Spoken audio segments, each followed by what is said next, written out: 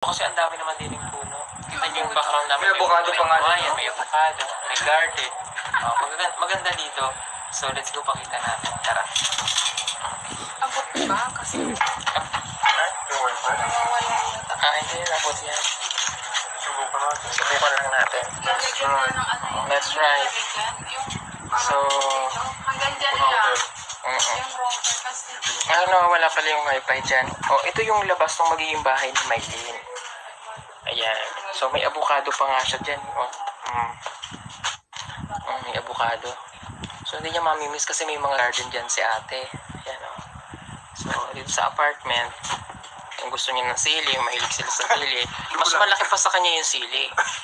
Oh, yung sili kasi dito puno na inaakyat. Kontakin mong sili pala itaw.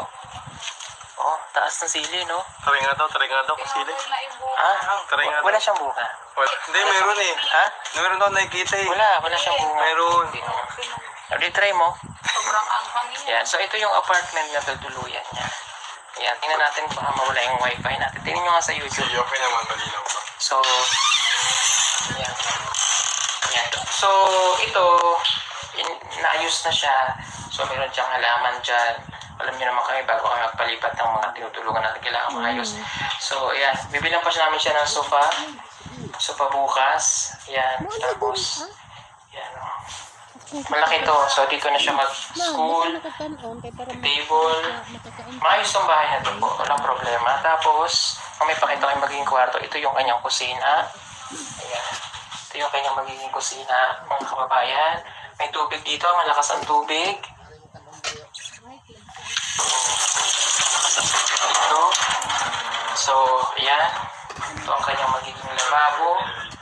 Nandito siya gagalaw. Malaki itong kusina na to. Ayan. Mm. Tapos, meron, nandito ang kanyang CR. Malinis ang kanyang CR dito. Wala siyang magiging problema. Ayan po, ang kanyang CR. Um, yan o. Okay, tapos ito po yung, yung kwarto naman niya, bibilang pa namin siya ng, ano, ng magiging bed niya. Kasi dito, may double deck na talaga dito kasi nga pinapaupahan din to dati. Ayan. So, ayan. Hmm. Yan, double deck yan. Para kung gusto nyo may kasama siya, yung pamangkin ko pagtulog, pwedeng tabi. Or pwedeng bilan namin siya ng kama na lang din.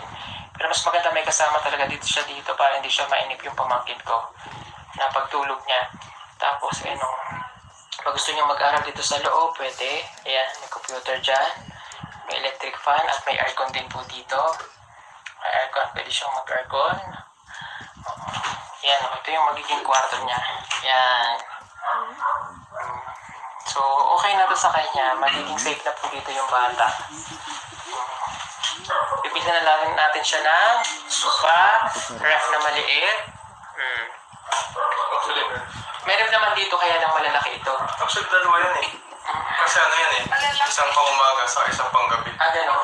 Hindi, Bibigyan natin siya ng ref na maliit lang yung yung mas malaki ng konti sa kanya. Kasi baka mamaya baka mamaya makita tayo na makita natin siya nasa loob eh. Joke lang po. Ayan. So, ganun. No? So, maganda po itong bahay na to. Mas maganda siya malinis. Tsaka safe talaga siya dito. Kasi tagusan naman to doon sa tagusan siya dito sa atik ko. Ito yon maraming halaman dito.